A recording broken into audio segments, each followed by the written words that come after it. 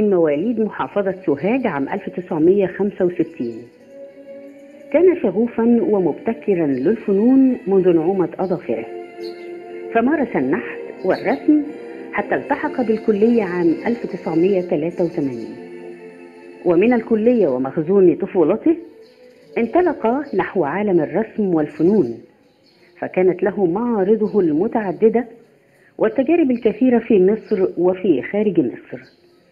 إنه الفنان محمد عبد المنعم إبراهيم أستاذ التصوير بكلية الفنون الجميلة جامعة المنيا.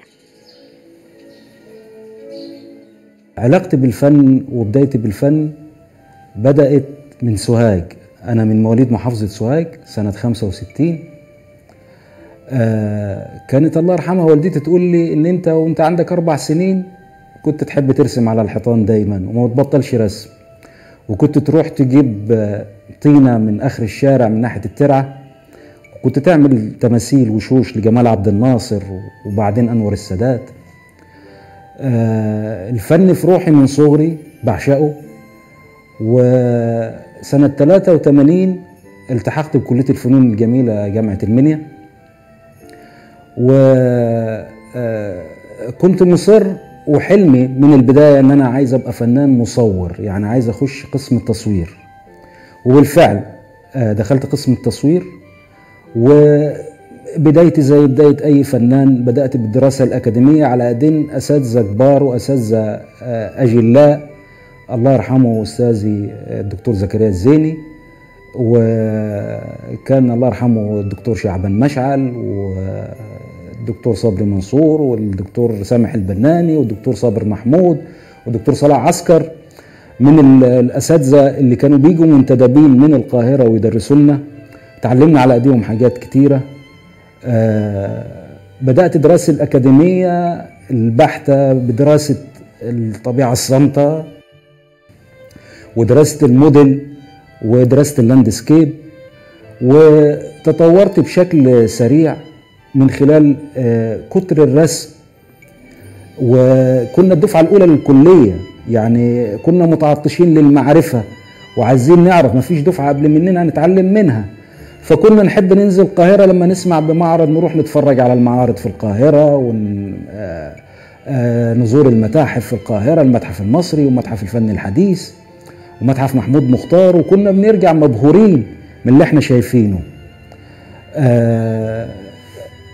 اتطورت التجربة الفنية عندي من الدراسة الأكاديمية الكلاسيك أكاديمي آه، بدأ يبقى الأساتذة يلاحظوا إن أنا عندي حتة تعبيرية في شغلي فبدأ الاتجاه التعبيري يظهر شوية بشوية وبعد كده بدأ يظهر اتجاه عندي ميتافيزيقي. وكانوا الأساتذة يقولوا الولد ده يعني في حاجة غريبة عنده بيرسم أشكال فيها استطالة وبيستخدم اللون الأسود فكان أستاذ زكريا الزيني يقول لهم سيبوه هو عرف يطوع اللون الأسود يعني من كتر الشغل باللون الأسود قدر ي... ي- اللون بيسمع كلامه يعني عرف يوظفه صح جوه اللوحة.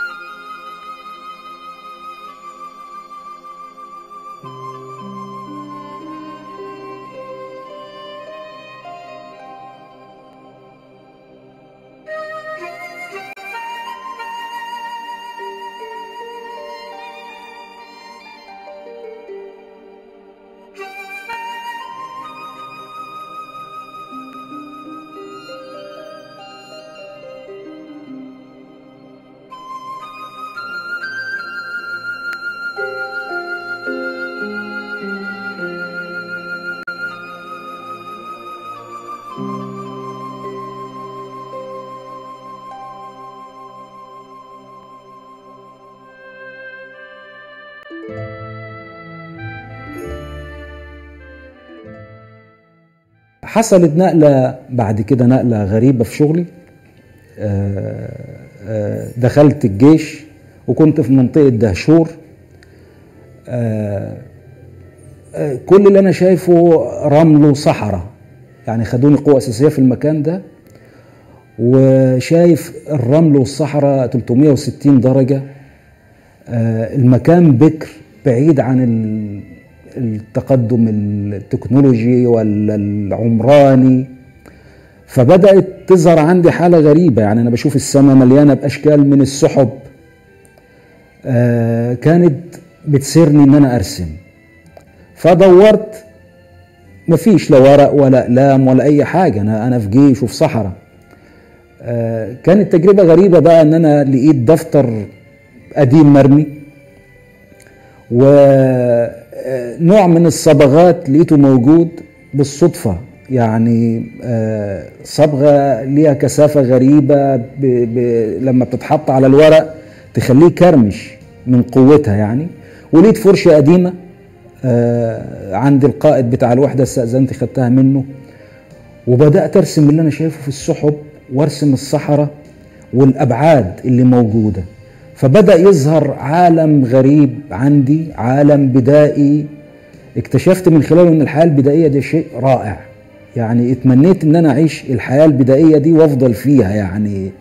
آه رسمت بقى حواء وآدم بعلاقتهم الحسية في المكان البكري ده. وبدأت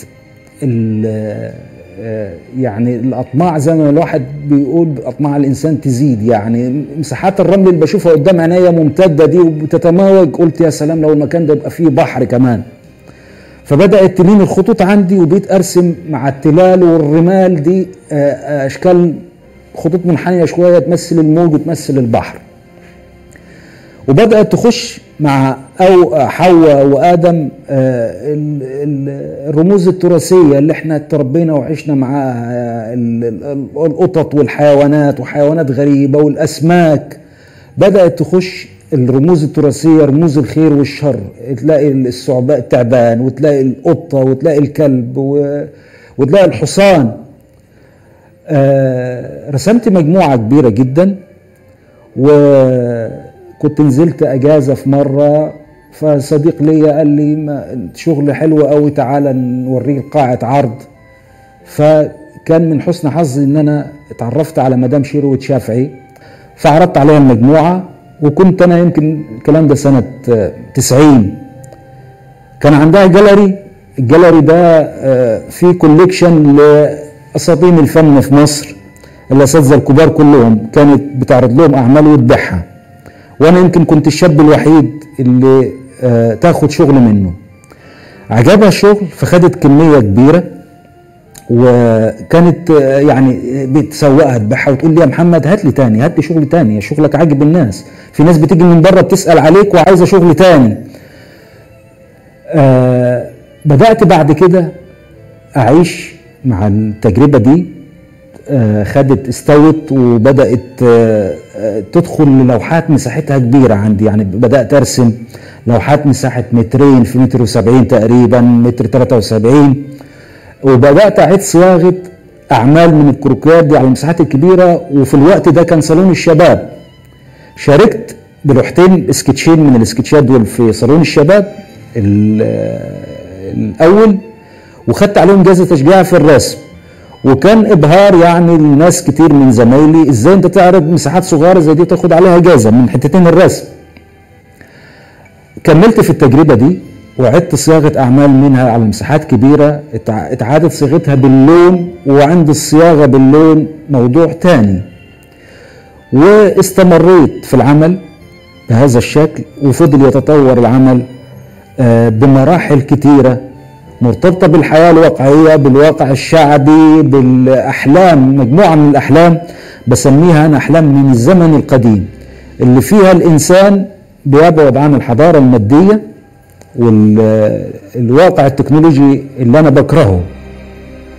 آه، سنة 96 بدأت مرحلة تانية جديدة. بدأت أرسم على مساحات كبيرة من الورق متر في 70 مجموعة سميتها flash back برضو عودة للزمن القديم وبداية الفلسفة وعلاقة الإنسان بقى بالمعبد والفكر الفلسفي. رسمت مجموعة مهمة جدا من الأعمال حوالي 26 لوحة. آه الأعمال دي كنت باخد عليها جوائز في صالون الشباب يعني آه شاركت في آه عشر صالونات. آه يعني تقريبا كنت واخد في معظم الصالونات دي جوائز كل سنة كنت باخد جايزة. آه اتطور بقى العمل عندي بعد شوية. آه بدأت أشتغل تاني مجموعة من الصبغات وعجائن وأكاسيد pigment كنت أنا بحضرها بنفسي. آه أكريليك يعني كنت بقول عليه الأكريليك المصري. أعجن ال pigment والأكاسيد دي بالغرا الأبيض ووصلت لمرحلة أنا بقيت أفهم طبيعة الخامات آه وأعرف أسرارها. لما تحب الخامة وتجرب بيها كتير. بتقول لك على أسرارها. بدأت أشتغل بعد كده بنوع من الحرية شوية فترة. أه بتعامل مع مسطح أبيض. أنا مش عارف أعمل فيه إيه بسيب مشاعري أه تطلع على سطح اللوحة. في حالة صراع بيني وبين المساحة البيضاء أنا خايف لا تهزمني. فبشتغل على المسطح الأبيض ده. ما أعرفش هيطلع منه إيه. اللي يطلع يطلع. حاجة طالعة من العقل الباطن عندي. أه أشكال مبهمة مش عارف. بتبدأ تتضح شوية بشويه على سطح اللوحة مع الشغل يعني مع مراحل العمل.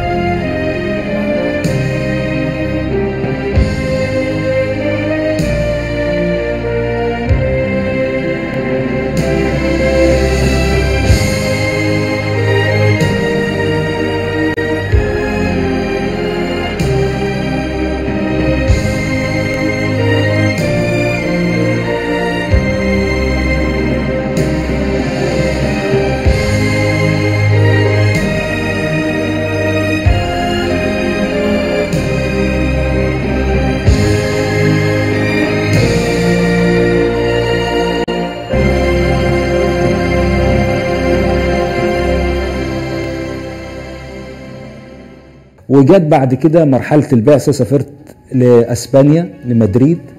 قعدت هناك سنتين. آه، حياة تانية مجتمع تاني ثقافة جديدة حياة منفتحة حب للحياة. بدأت أتعلم حاجات جديدة درست هناك. آه، طبعا كطالب كان لازم أدرس مادتين. المادتين دول أدفع مصاريفهم. وكان في نظام تعليمي رائع. أتمنى أن هو يتطبق هنا في مصر. يعني كان الطالب هناك بيختار المواد اللي هو عاوز يدرسها وبيختار كمان الأساتذة اللي هيدرسوا له المواد ده كمراسم يعني كل أستاذ ليه اتجاه معين سواء كان في كلاسيك أو فن حديث أو فالطالب بيشوف الأستاذ اللي هو عاوز يتعلم عليه. هو الطالب هناك أصلا بيبقى دارس من صغره من الحضانة والابتدائي وإعدادي بيكتشفوا المواهب وبينموها. والمتاحف مفتوحة آخر الأسبوع الفين دي سيمانة يعني الناس بتزور المتاحف مش زي عندنا في مصر يعني في ناس عمرها ما دخلت متاحف. لكن هناك الطفل من صغره آخر الأسبوع بيروح يزور المتحف ويبقى عارف الفنانين يعني عارف تاريخ الفن كويس قوي. آه فالطالب اللي هيخش فنون جميلة بيبقى عاوز بس يدرس الطريق اللي هيمشي فيه السكة اللي هيمشي فيها على إيدين أستاذ معين. فخدت portfolio فيه أعمالي وألبومات صور لأعمالي وكنت اخترت مادة ال grabado يعني الحفر الحمضي. وتعلمت على ايدين أستاذ من من من أعظم الأساتذة اسمه خيراردو أباريسيو في Facultad de Bellas Artes كلية الفنون الجميلة في مدريد اللي هي كانت زمان اسمها سان فرناندو كانت أكاديمية سان فرناندو. اللي درس فيها أساتذة كبار من أساتذة التصوير المصري وأساتذة الفن المصري منهم على سبيل المثال حامد ندى. والدكتور أحمد نوار والدكتور صبري منصور والدكتور فاروق إبراهيم والدكتور عبد المنعم الحيوان اساتذه كبار درسوا هناك في نفس الأكاديمية سان فرناندو اللي اتحولت لكلية الفنون الجميلة تبع جامعة كومبلتنسا اللي هي وزارة التعليم العالي. واخترت مادة التصوير. هم الأساتذة لما شافوا شغلي طبعا قبلوني تماما. الطالب بيختار أستاذه وبيختار المواد بس مش معنى كده إن الأستاذ بيوافق إن الطالب ده يدرس عنده. لا ده لازم يتعرف على شغله ويشوف. ولو لقي للأمانة إن الطالب ده هيستفاد من وجوده في مرسمه فبيعمل له جواب يقول له أنا موافق إن أنا قابلتك تبقى في المرسم بتاعي وتبدأ الدراسة. أنا اخترت مادة الحفر واخترت البنتورة اللي هو التصوير. في أول سنة رحت مرسم التصوير لقيته مش هيضيف لي حاجة. يعني مع الأسف لقيتهم بيعملوا إعادة صياغة لاعمال من فنانين قدام وحسيت إن الدراسة في التصوير مش هتضيف لي حاجة لكن كثفت كل وقتي للدراسه في قسم الجرافيك الجرابادو. اتعلمت أكتر من عشرين تقنية على يدين أستاذي خيراردو اباريسيو ولا كان يعني يتوانى لحظة في إنه يعلم الطلبة بتوعه ويساعدهم برغم سنه الكبير فاتعلمت كل تقنيات الحفر الحمضي على النحاس وعلى الزنك وهذه التقنيات أفادتني بشكل غير مباشر في التصوير وطوعت التقنيات دي الكتيرة اللي أنا اتعلمتها في خدمة التصوير كمان. وعملت مجموعة كبيرة جدا من الأعمال التصويرية يعني ما كانش حد يحلم إنه يعيش سنتين مثلا في مدريد أو في دولة أوروبية وينتج الإنتاج ده كله بجانب الرسم والحفر.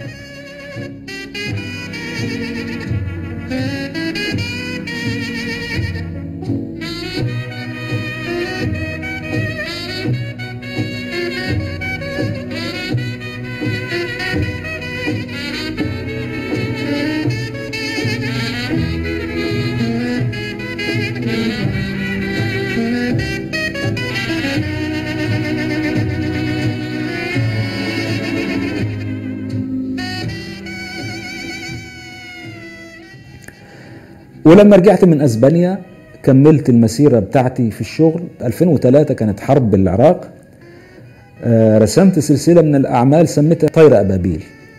اتناولت فيها حرب العراق بشكل رمزي. تحول طائر الطائر الصغير طائر أبابيل ده هو للطيارة الغريبة اللي بتهدم البيوت وبتقتل النساء والأطفال والكلام ده كله. بس تناولتها بشكل رمزي. في سلسلة من الأعمال كان حوالي عشر أعمال وعملت كان معرض أول معرض عملته بعد رجوعي سميته أيام مدريد وضفت معاهم العشر أعمال بتوع حرب العراق أو طير أبابيل دول. وكان معرض عامل صدى كويس جدا وكان معرض مهم يعني.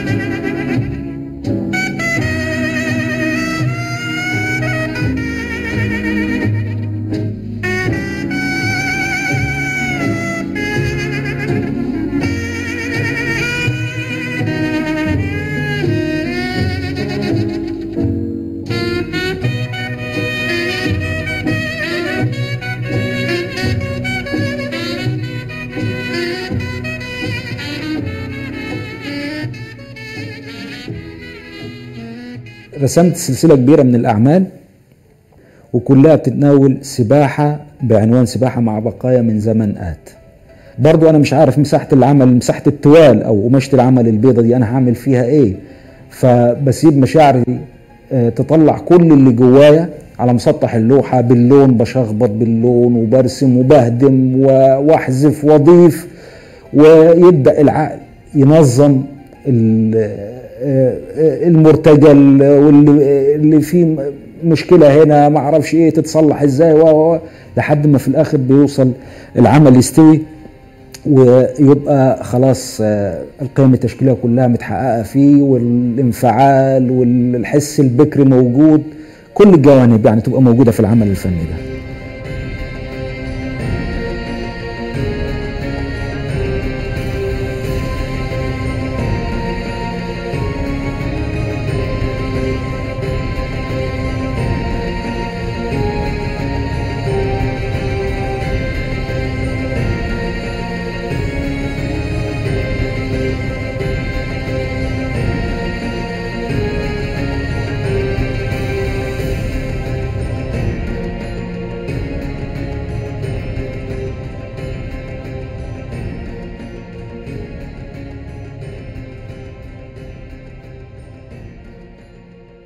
أما الآخر أعمال ليا اللي موجودة حاليا اللي هي مجموعة من الرسوم برجع فيها تاني للإنسان وأحلام من الزمن القديم. برجع تاني للعالم البيور البكر القديم بعيد عن الحضارة المادية. علاقة الإنسان بالمبنى الصغير سواء كان معبد أو دار السكن. علاقته بالنجوم علاقته بأحلام اليقظة علاقة الإنسان بالأساطير. بالفن المصري القديم والفن البدائي وجدران الكهوف هتلاقي الرسوم والخط اللي موجودة. أنا أعتقد إن الفن المصري القديم الرسوم المصرية القديمة لو كانت خرجت عن نطاق التزمت اللي كانوا هم ملتزمين بيه الفكر الفلسفي اللي كان موجود وخدت جانب من الحرية آه، كان ممكن توصل للي أنا رسمته في أعمال الرسوم الأخيرة. حرية الخط والحركة آه، التكتلات للمباني الكتيرة القباب اللي موجودة فيها بالبوابات البوابات الصرحية اللي هنلاقيها في كل الحضارات القديمة. في المصري القديم البوابات المعابد والعمدان وهتلاقيها في الإغريقي وفي الروماني المعبد الروماني. وهنلاقيها حتى في الفن الإسلامي المباني الصرحية البوابات الصرحية والإنسان اللي بيتضاءل جنبها.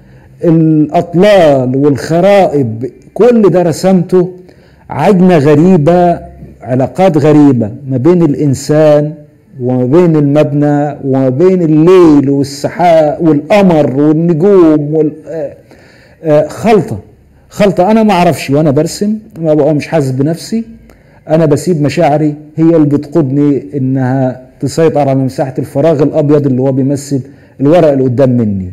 إيه اللي هيطلع منه؟ أنا ما بعرفش. لكن في الآخر بحس إن كل شخصية اترسمت ليها علاقة بشيء في الذاكرة عندي بعد كده. حتى الأشخاص والشخصيات أحس إن أنا بعرفهم. واللي بيشوف الأعمال دي بيقول نفس الكلام. بيحس إن الشخصيات دي مرت على الذاكرة عنده قبل كده أو شخصيات يعرفها أو شافها قبل كده.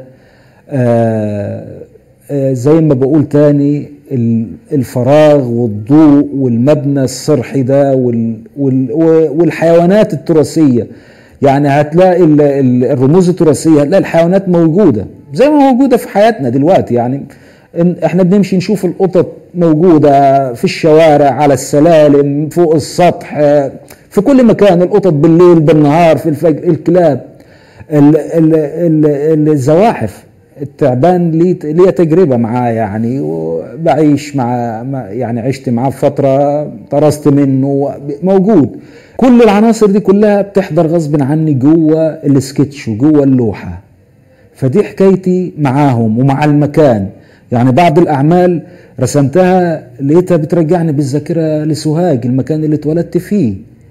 آآ يعني بقيت يعني حاسس إن أنا أنا رجعت لطفولتي وأنا عيل صغير المكان ده شفته قبل كده في سوهاج. البوابات القديمة الحواري القديمة بتاعت القاهرة اللي أنا عشت فيها سنين طويلة. كل ده بيطلع في رسوماتي. الأرشات البوابات القديمة الحواري القديمة المباني القديمة البيبان الظل والنور تقطعات الظل اللي موجودة بتبقى موجودة في الرسومات عندي. في حاجة مهمة جدا سنة آه، 90 كان في معرض في قاعة آه، في أتليه القاهرة وكان زارني صديق الفنان عادل السيوي وقال لي أنت بترسم حاجة غريبة أنت في آه، ضوء أبيض بترسمه حوالين الأشكال وبترسم أشكال آه، سلويت بلون أبيض يعني كأنك قصصها بمقص تلم. محدش عملها قبل كده في تاريخ الفن كله يعني ما شفتهاش. فعلا دي سمة غريبة موجودة في شغلي. هي أنا بسميها عن نفسي الضوء المحيط. الضوء المحيط بالأشخاص. ممكن يبقى القرين بتاعه ممكن يبقى الهالة الضوئية بتاعت الشخص. وأصبحت حتى مش مجرد الإنسان يعني الهالة الضوئية أو الضوء المحيط بقى بيحاصر كل حاجة تلاقيه في بعض أعمال أعمال كتيرة. الضوء المحيط ده موجود حوالين ال- الرجل والمرأة وحوالين ال- ال- الحيوانات وحوالين المباني وحوالين البيبان والشبابيك وحوالين العمدان وحوالين الجدار.